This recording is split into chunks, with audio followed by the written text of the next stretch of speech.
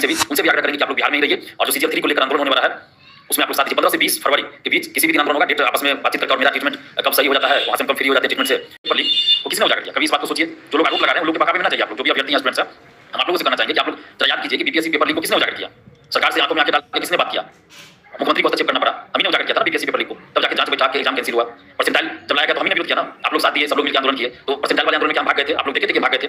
हमें मार, मारा गया, पीटा गया, बुरी तरह घायल हुए, हमें उठाकर फिर भी थाना ले जाया गया। थाना में आठ घंटा बंद करके रखा गया। तो कहाँ भाग गए थे? कुछ लोग शिक्षा माफिया लोग लगा के कौन भाग गया भाग गया। कब हम भागे आंदोलन से भाई? ग्यारह फरवरी दो हज़ार इक्कीस को भी अरेस्ट किया गया था कहाँ भागे थे? चाहते तो भाग सकते थे। उनतीस नवंबर को भी हम लोग आंदोलन किए थे। बीपीएससी को लेकर बीपीएससी गेट पे मुख्यमंत्री आवास के बाद कहाँ भागे थे? तो सबसे आगे थे। सात दिसंबर को भी आंदोलन हुआ। कहाँ भागे थे? सबसे आगे थे। चार जनवरी को भी आंदोलन था। तो जो लोग आंदोलन तो सब देख रहे थे हम तो आगे थे। सबके साथ थे। ऐसा नहीं कि भाग गए थे आंदोलन में। कब भागे थे? चार जनवरी के बाद हमें चूँकि एम्स में इलाज कराना था और जितनी जल्द हो सके उतना जल्द इलाज कराना था, इस वजह से आगे आंदोलन हम नहीं कर पाए। क्योंकि आप सभी जानते हैं कि जो बीमारी मुझे है, उसका जितना जल्दी हो इलाज कराना आवश्यक था। और एम्स में जल्दी नंबर नहीं लगता आप लोग को पता उन्नीस तारीख को मेरा ट्रीटमेंट हुआ। गामा थेरेपी से रेडिएशन कर दीजिए उसे इलाज हुआ, लेकिन अभी भी सर में दर्द रहता है और ज़्यादा बोल नहीं सकते ज़्यादा दूर से नहीं बोल सकते। और मना भी किया गया और ऐसे भी बोलने से दर्द करने लगता लगता है, कान का ब्रेन का नस दर्द करने लगता है। तो मुझे समस्या होती है बोलने में तो मुझे पता है ना। दूसरे को चीज़ पता नहीं होगा। मुझे क्या प्रॉब्लम हो रही है तो मैं जानता हूँ उसे। तो मैं ज़्यादा बोल नहीं सकता, ज़्यादा देर तक नहीं बोल सकता, दर्द करने लगता अभी भी सर में दर्द करता है। तो धीरे धीरे ठीक होगा, अचानक से ठीक नहीं होगा तो ये समस्या जो उन्नीस तारीख को जो ट्रीटमेंट हुआ मेरा वो था ट्यूमर का। जो ट्यूमर था उसका इलाज हुआ था रेडिएशन से। लेकिन अब हमको फिर ई यानी कान दिखाना है कि कान जो जो नस डैमेज हुआ उसकी वजह से जो सनसनाहट है, आवाज़ करता है कान में, जिसकी वजह से रात सो नहीं पाते, ठीक से नहीं आती, ठीक से कान में आवाज़ करता है, चौबीसों घंटे। तो उसका इलाज ई में दिखाना पड़ेगा डॉक्टर से कि जो सनसनाहट हो आवाज़ हो रहा है वो कैसे बंद हो, और सुनाई जो कम हो गया, उसका ट्रीटमेंट अब ई वाले करेंगे, ना कि न्यूरो सर्जरी न्यूरो सर्जरी में हमने दिखाया न्यूरो सर्जरी डिपार्टमेंट में जो ट्यूमर था, उसका इलाज हुआ। अब जो कान की समस्या है, जो कान की समस्या जिस वजह से थी, उसका इलाज हो चुका है, लेकिन अब कान की जो समस्या है, जो कम सुनाई दे रहा है धीरे धीरे सुनाई कमती जा रहा है, यानी सुनने की क्षमता कम होती जा रही है, और संसनाट जो होता है, जो आवाज़ करता है जिसकी वजह से दिक्कत होती है, उसका इलाज अब ई डिपार्टमेंट में होगा, जो अब हम प्रयास करेंगे कितना जल्दी हमारा हो जाए। तो रेडिएशन से हुआ है उसके कुछ दिन बाद ही ई में दिखाना था। तो अगला सप्ताह प्रयास करेंगे जितना जल्द हो जाए, हमारा इलाज हो जाए। उसके बाद हम आप लोग के लिए ज़रूर लड़ेंगे, कभी तो पीछे नहीं आते हैं। कभी पीछे तो नहीं आते आंदोलन से। जब ज़रूरत पड़ी आंदोलन किए जेल तक गए हैं। अब याद कीजिए, तेरह दिसंबर दो हज़ार इक्कीस को भी आंदोलन हुआ था। रात के दस बजे तक हम लोग बीएसएससी ऑफ़िस थे हमें घसीट कर थाना ले जाएगा, तभी हम नहीं भागे। जबकि उस समय पैंतीस चालीस स्टूडेंट्स होंगे, रात में साढ़े दस बजे के करीब दस बजे, तभी हम नहीं भागे थे। तो हम भागने वाले में से नहीं है। बारह फरवरी को बीपीएससी पीटीएस अड़सठवीं बीपीएससी पीटी और हमें भी उम्मीद है कि हम उस समय तक तेरह चौदह तारीख तक हमारा भी ट्रीटमेंट पूरा हो जाएगा, चौदह से पंद्रह तक हो जाएगा हमारा ट्रीटमेंट तो पंद्रह से बीस के बीच में, पंद्रह से बीस के बीच में आप लोग अगर तैयार रहिएगा तो आंदोलन पटना में होगा बस आप लोग तैयार रहिए, और जो लोग भी बीपीएससी पीटी देने बिहार आएँगे, दिल्ली से या कहीं से भी, उनसे भी आग्रह करेंगे कि आप लोग बिहार में ही रहिए, और जो सीजीएल थ्री को लेकर आंदोलन होने वाला है, उसमें आप लोग साथ पंद्रह से बीस फरवरी के बीच किसी भी दिन आंदोलन होगा डेट आपस में बातचीत करके और मेरा ट्रीटमेंट कब सही हो जाता है, वहाँ से कब फ्री हो जाते हैं ट्रीटमेंट से।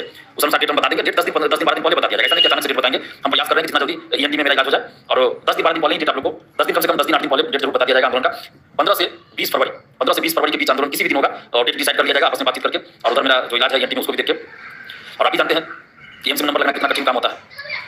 तो आप लोग तैयार रहिए।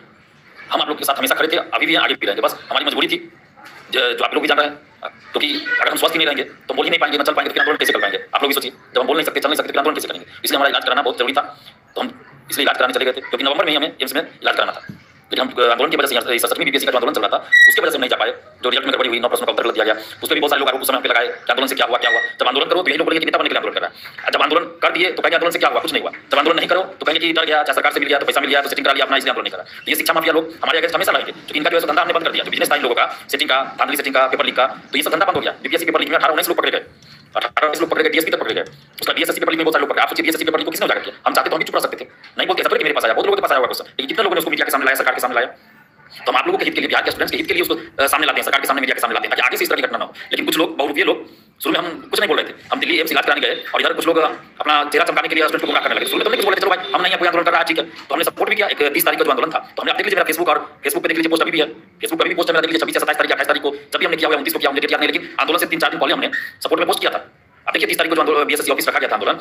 तो हमने तो बीएसएससी अभ्यर्थियों के समर्थन में पोस्ट किया था फेसबुक पे भी और ये यूट्यूब पे कम्युनिटी में भी। अब अभी भी पोस्ट होगा। आप देख लीजिए, ऐसा तो हम अभी चार दिन पहले का पोस्ट कर देंगे। अभी वो तो सब नहीं आप लोग भी जानते हैं।